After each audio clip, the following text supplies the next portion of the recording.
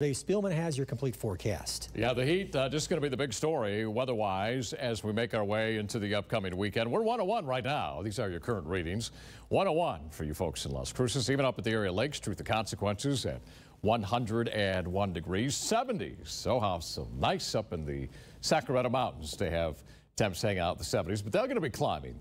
Uh, well into the 80s as well. Watch over the next seven days. We talked about the heat that's going to stay with us. And the records, you can see them on the map, and we're not going to be talking about really breaking these records as of now, although there's going to be some locations that could get close or certainly exceed it. In some parts, we are going to be close. 107 is the record tomorrow.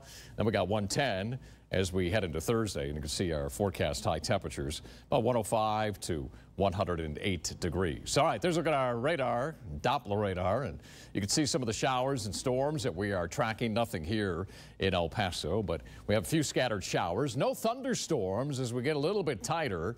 Not seeing any lightning bolts, and this particular cell right over hill now has weakened quite a bit. Uh, this one over at Hatch continues to move down towards the south of you folks and then farther off towards the east. Better moisture supply, better fuel to work with, with daytime heating, of course. There's Dell City. Dry right now. You get into some light rain and then some heavier pockets. But again, not picking up any lightning with that particular cell.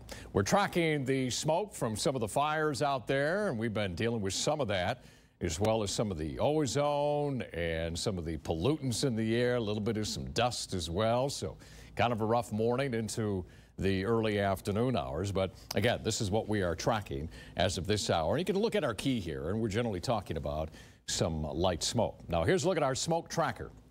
9 o'clock tonight. Here's some of the fires and northern Mexico that are burning.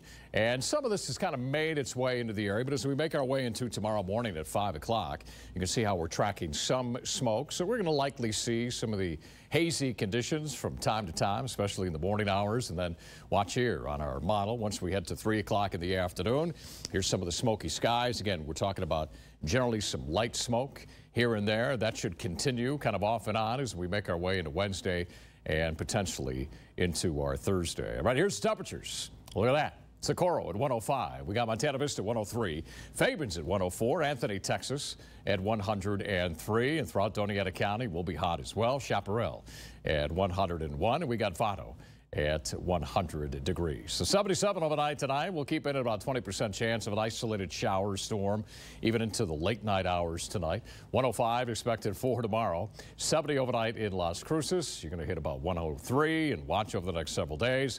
105, 106, 108. Lots of sunshine. I think we'll lose our chance for some rain, although we will likely see some clouds hanging around. And then we go 108 on Friday and into the upcoming weekend still